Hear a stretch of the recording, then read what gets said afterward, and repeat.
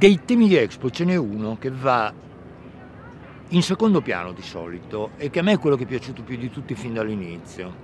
È quello che recita Energie per la vita, eh, che mi corrisponde profondamente e che trovo fondamentale perché non abbraccia semplicemente un tema specifico, per quanto fondamentale come quello dell'alimentazione, ma in qualche, lavoro, in qualche modo lavora sull'attitudine, lavora sui comportamenti, lavora sulla relazione con il mondo.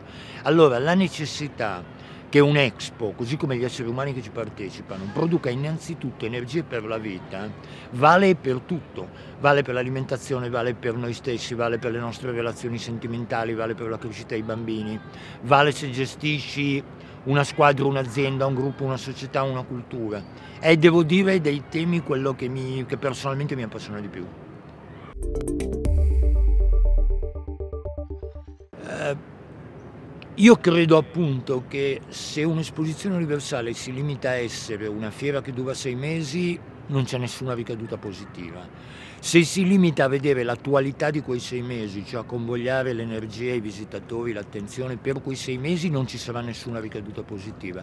Se invece quei sei mesi funzionano appunto da motore per un salto, per uno scarto qualitativo, cioè per portare alla luce appunto, come provo a dire anche prima, eh, il fatto che di energie forti, importanti, inventive ce n'è tante, io mi aspetto questo, credo che sia il risultato migliore che si possa ottenere.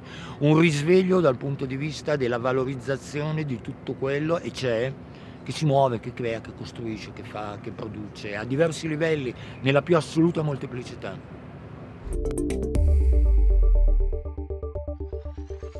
Non, è banalissimo, non riesco a trovare altro aggettivo per definire l'Expo se non universale. Accidenti. Cappuccino, il gelato, eh, i dolci.